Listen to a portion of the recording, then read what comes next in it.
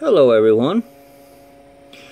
This is rather special occasion, so we'll just start it off from the get-go. This colony I'm showing you right here, this Formica podzolica, is now three years old. I caught her three years ago this week. As you can see, I caught her from a single queen. I did brood booster at the very beginning with about 20 workers, and she has gone stellar since. Hoping to spot her, but I don't think we're going to get a chance to see her. Unless that's her right there.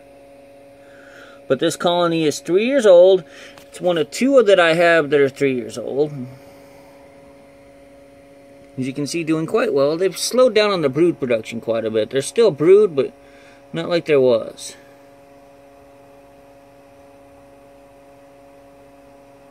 As you can see, workers. A little bit of brood.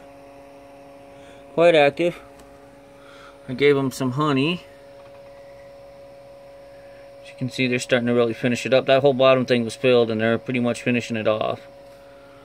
They're in a dual-sided nucleus, special order, with four water towers, two nest mates, museum glass on both sides. Sorry, folks, it's going to be upside down here.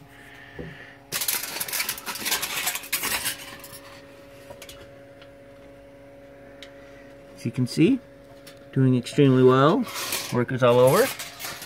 As my wife calls her, the ant goddess. When in doubt, folks, tinfoil is the best thing to put food on. That way it don't mold in your carrying. Helpful tip. But this is one of my two oldest colonies, and now we will go to my other colony that is just a couple weeks older than this one. Started from a single queen. This is my Pogonomyrmex occidentalis, three years old in a labyrinth that they've been in quite a bit. As you can see, plenty of brood, seed storage. There's more brood around this water tower, but it's hard because it's fogging up. Because it's really dry here in Colorado. We don't get a lot of humidity. But this colony is over three years old now. I caught her about a week and a half ago, which would be, that would be the anniversary about a week and a half ago, three years. At one point, this colony got knocked down to 11 workers.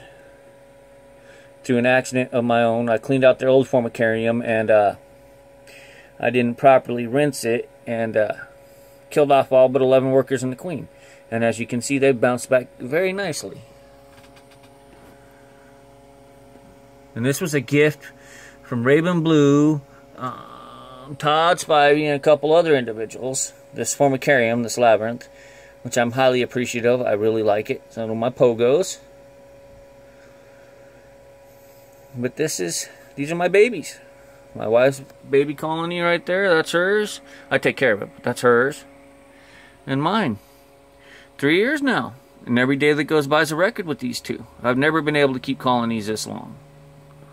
I've been in this hobby four years now. I've been back in this hobby four years now.